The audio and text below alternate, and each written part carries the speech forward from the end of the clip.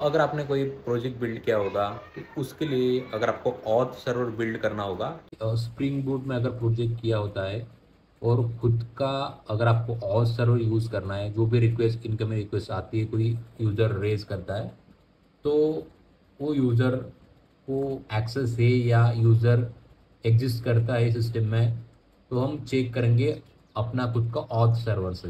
तो सबसे पहले ये जो स्प्रिंग्स की जो वेबसाइट है, वहाँ पे जाके आपको स्प्रिंग बूट स्टार्टर और सर्वर डिपेंडेंसी कॉपी करके आपको जो भी आपका प्रोजेक्ट होगा, यहाँ पे डिपेंडेंसी ऐड करनी है।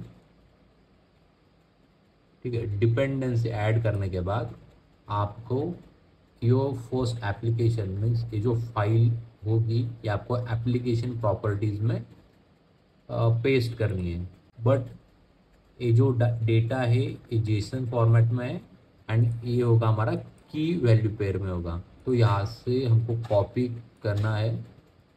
कॉपी करके हम चैट जीपीटी से उसको एप्लीकेशन प्रॉपर्टीज़ फ़ाइल में कन्वर्ट करेंगे। उसके बाद यहाँ पे पेस्ट कर देंगे। पेस्ट करने के बाद हम डायरेक्टली हमारा जो प्रोजेक्ट होगा,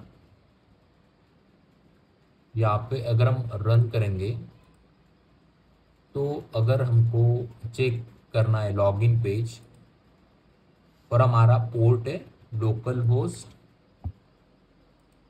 at one at one